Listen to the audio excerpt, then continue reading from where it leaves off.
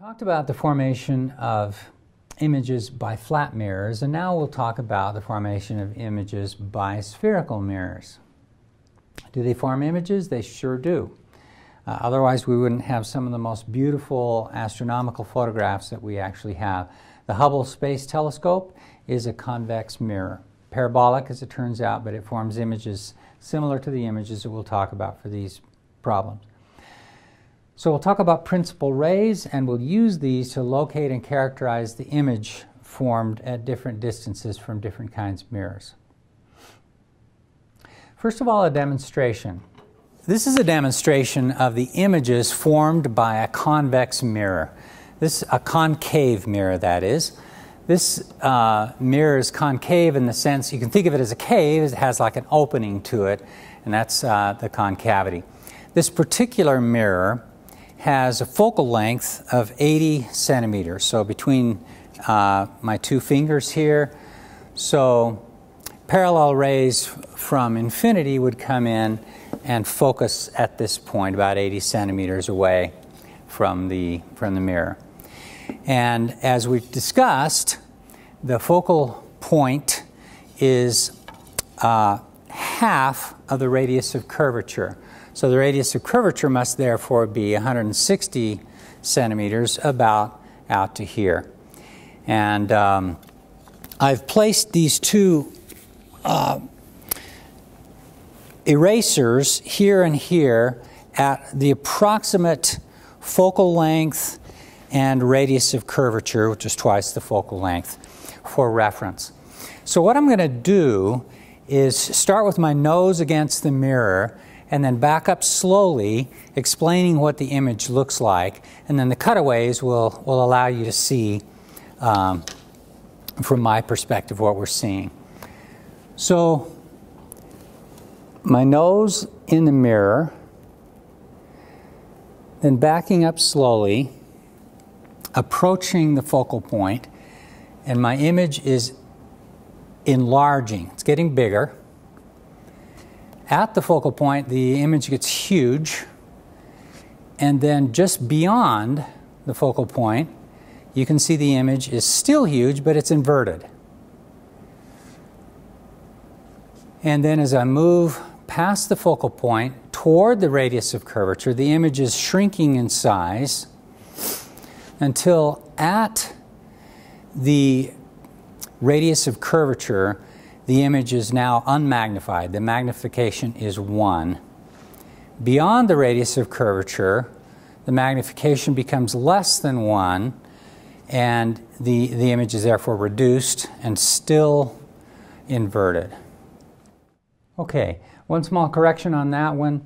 We'll talk about the magnification, and I'd said that the magnification when I was standing at the center of curvature was 1. It's actually negative 1 because the image was inverted and that minus sign gives you the information about inversion. But either way, the, the absolute value of it was 1 because it was not magnified. Okay, another video using a foam ball. This is a demonstration of the image formed by a concave mirror. This is a concave mirror, so it's hollow on the inside.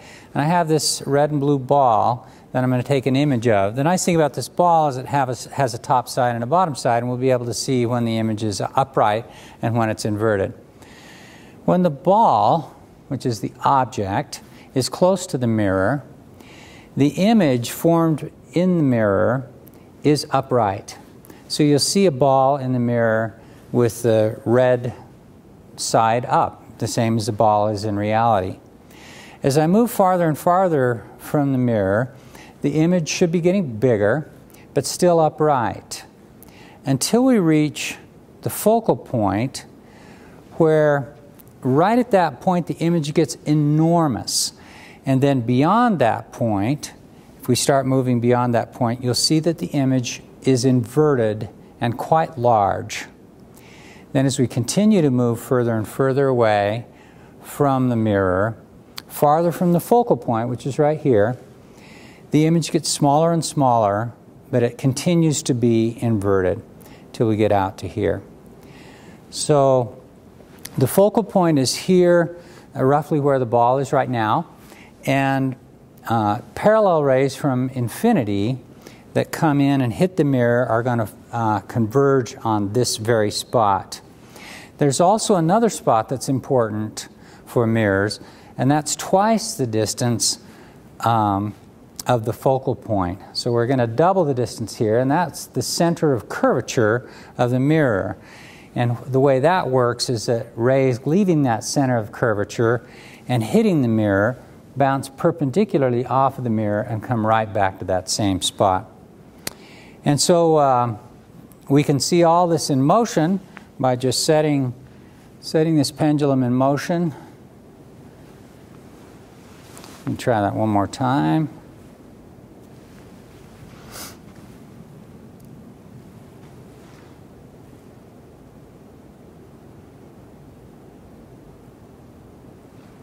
These two demonstrations can help you remember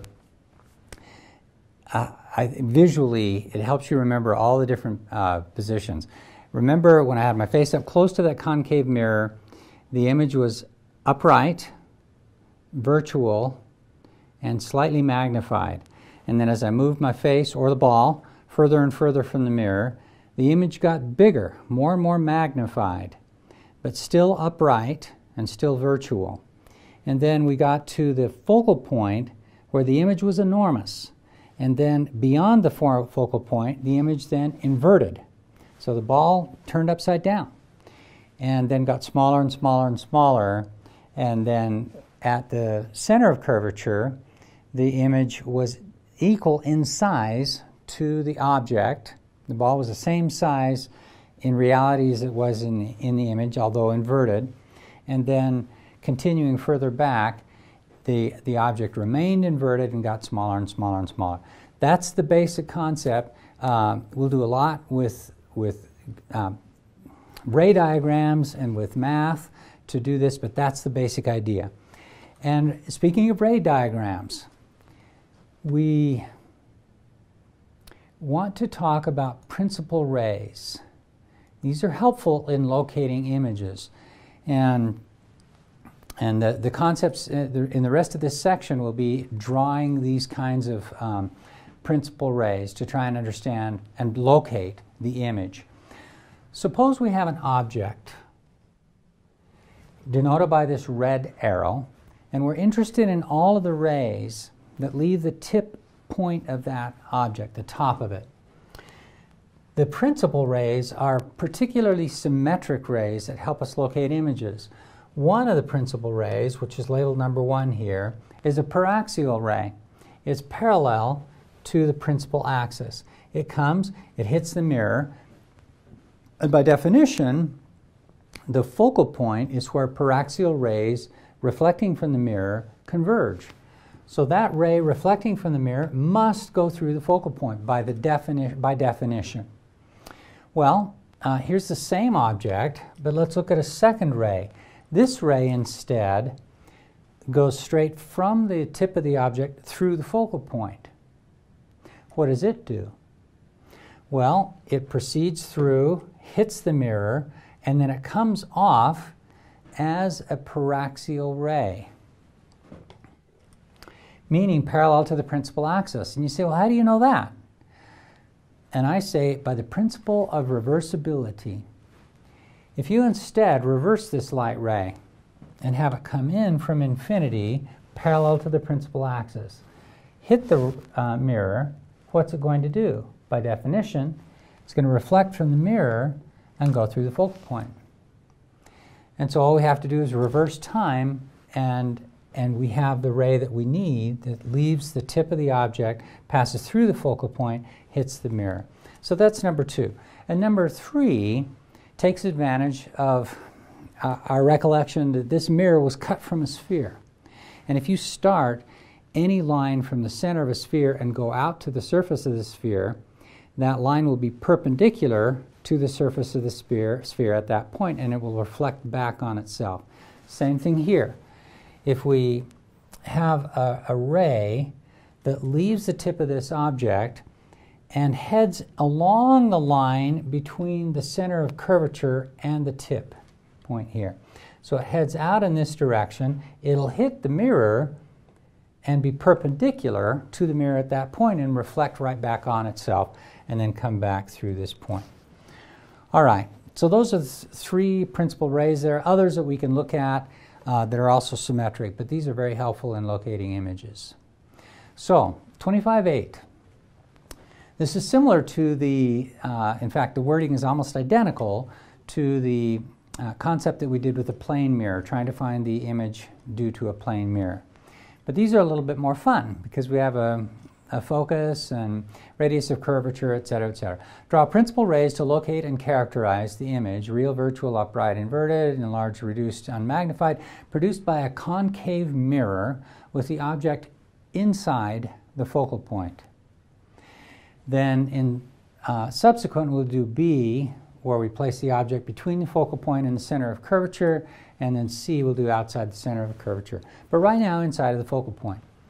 So let's, um, and I'd like for you to be able to draw these diagrams because when you get stuck on a, a desert island and you've got a, a little piece of a, a, Coke bottle that you're used to sending messages uh, to try and get yourself rescued, you need to know how to do, the, how to do these uh, geometric optics.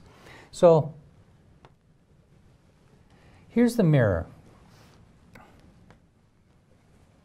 Here's a principal axis.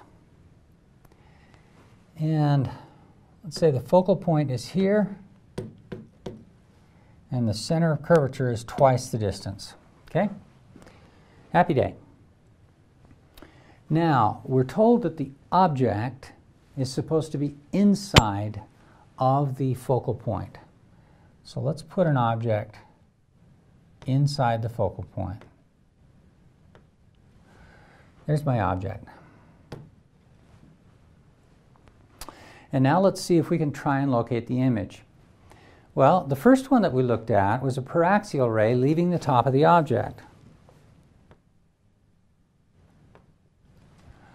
All right, it goes, it hits the mirror. What does it do? Well, you say, by definition, it reflects from the mirror and goes through the focal point because it's a paraxial ray.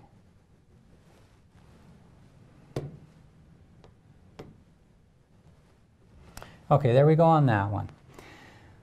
Let's look at a ray that we can't we can't do a ray that goes directly through the focal point here. We can do one that is along the line between the tip of this object and the center of curvature. So if we imagine this line looks like that. Then this ray comes out and reflects perpendicularly because it's along one of the radiuses of the sphere and then comes back on itself and passes through the center of curvature. Okay? We can also look at another one, uh, a symmetric ray. Uh, what about the one that goes like that? Angle of incidence equals angle of reflection. Now we've got three rays. One, two, three. And we want to know where the image is. So in looking for an image, what you're going to be wanting to look for is where those rays reflected from the mirror converge or appear to converge. Well, they don't appear to be converging out here. They're getting further and further apart. So we're going to expect an image on the other side, a virtual image. So if we uh, extend out this ray, extend out this one, and extend out this one, we're looking like they're they're converging right about here. So we're going to expect an image. It's right about here. It's where those rays appear to converge. well, let's talk about the image. Is it real or virtual? Well, you say if it's real, then the actual light rays converge. If it's virtual, it's extensions of the light rays that converge. So it must be virtual. It's behind the mirror, you know that those light rays don't go through the mirror to the other side, so it has to be virtual. is it upright or inverted? Well, the object is, is upright, it's above the axis. The image also appears to be upright. so it's upright. Is it enlarged and reduced or unmagnified? And so for this one, you're going to say, well, how tall is that object compared to this height of the image? Is the image taller or smaller than the object? And it's obviously taller. So it's an enlarged image produced by a concave mirror with an object inside the focal point. So in summary, an object located inside the focal point of a concave mirror produces a virtual, upright, and enlarged image. All three that we were able to figure out. The, um, so here's three, three rays that, this is the textbook uh, version of it. Um, they got this first ray is the one that we we looked at. This um, second ray, we didn't actually look at this one, but this is another one that you can draw. This one actually appears to come from the focal point right here and heads along the line between the focal point and the object. Heads toward the mirror and then comes off as a paraxial ray. And you say, that's pretty cool. How do you know that did that? And I say, just reverse it. You can take, bring it in this way, it hits the, it's a paraxial ray. And remember, we're, we're all, even though we seem to be in this diagram far from the axis, we're always considering these to be close, close enough to the axis to consider them to be paraxial rays. So a paraxial ray comes, hits the mirror, comes down, and hits, heads through the focal point. So we've just basically reversed that.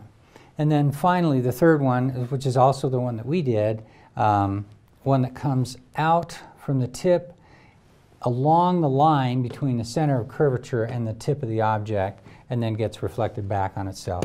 And a virtual image, um, just like we were able to draw, this is a little prettier, but um, and this is the type of mirror that you use for a makeup mirror or a shaving mirror. They're concave. And what you do is you get up close to that mirror so that your face is inside the focal length.